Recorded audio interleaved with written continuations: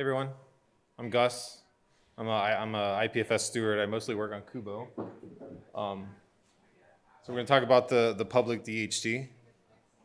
Um, so to review what, what Juan was talking about, um, the main functions of the DHT are content, or like converting a CID into a, into a set of peer IDs. We actually look it up by the multi-hash. Um, it also, the DHT also holds uh, peer ID addresses um, and IPNS records. Um, and we, these are the main implementations. So we've got two Go implementations that we use in Kubo, the standard client and then the accelerated full RT client, um, which I'll talk about in a second. And then the JavaScript and Rust implementations. Uh,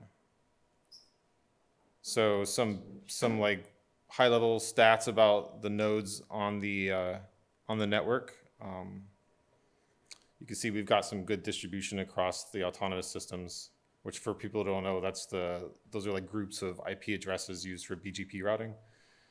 Um, and good distribution across cloud providers.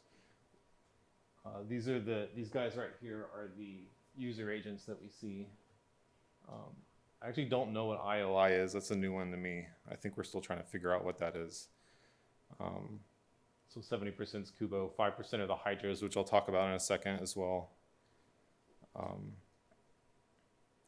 so the, the hydras are something that PL runs to help speed up content routing. Basically, we, we have um, a bunch of peer IDs, basically flood the whole network with a bunch of peers that share a, a database that stores content routing records so that a lot of peers in the network know a lot about um, all the all the records. Uh, so I, we tuned it a couple months ago so that 97% of DHT queries hit a Hydra Hydra node.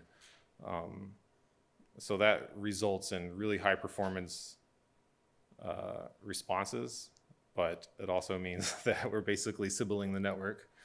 Um, uh, and it also enables us to bridge the, the network with existing clients uh, with other indexers like the one that Andrew will talk about in a minute. Um, another benefit of the Hydras is that we get a really good global view of the DHT because we basically are the DHT. Um, so yeah, there's two, two main clients in Kubo that we use. The traditional client, which um, does you know the lookups that Juan was talking about, the logarithmic hops. Um, and we've also got the accelerated DHT client, which uh, caches the entire routing table in memory, um, which means lookups are really fast because you don't have to do any extra hops, but it also means you've got to cache the entire routing table in memory. Um, and one of the big downsides of that is before it's even usable, you have to crawl the entire network and find all the peers. Um, it's about 30 to 40,000 peers, something like that.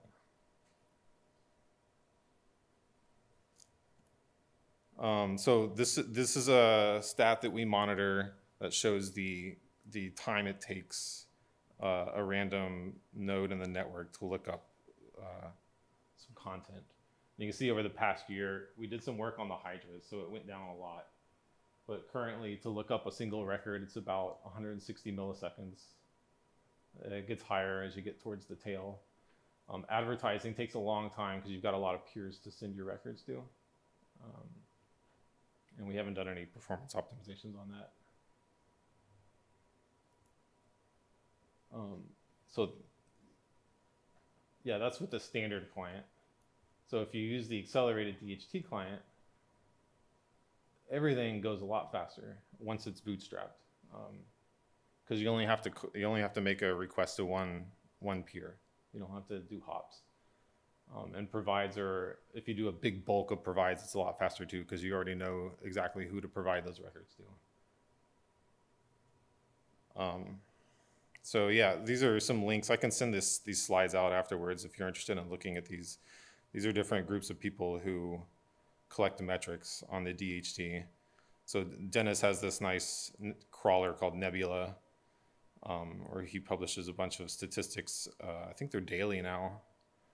um, about like who's on the network and how big it is and, and different performance characteristics. And then Max from libp2p, he, he maintains the Rust libp2p implementation. He has a nice uh, Grafana dashboard. Um, I wanted to show too, let's see.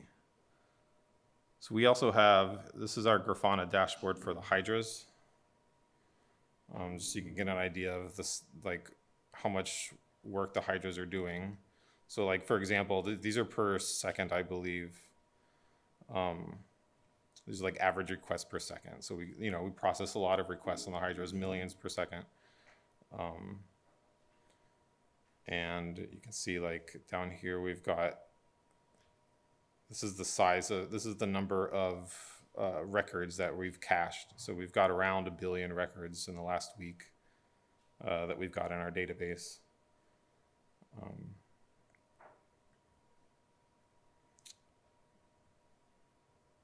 go back here. Yeah, so we've still got a bunch of work we can do on the accelerated DHT client as well.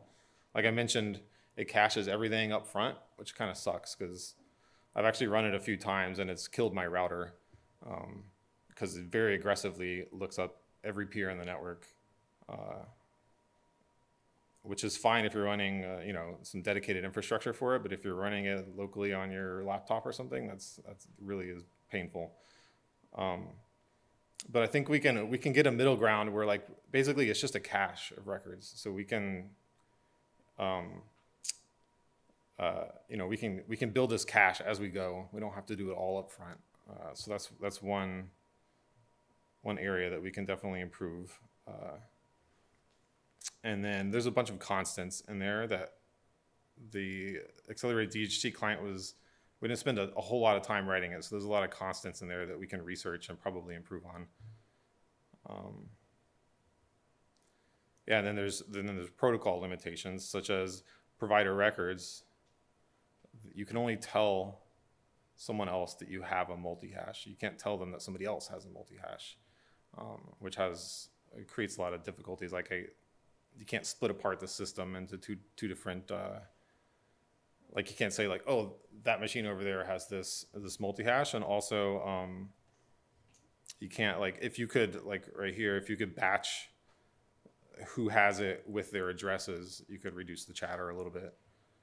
Um, and then there's a there's also I think we talked about it earlier in uh, in stand up. There's a there's a big lookup table that we use for bootstrapping the routing table that's like 400 kilobytes. Um, that kind of sucks sometimes if you it kind of bloats your your code size. Um, yeah,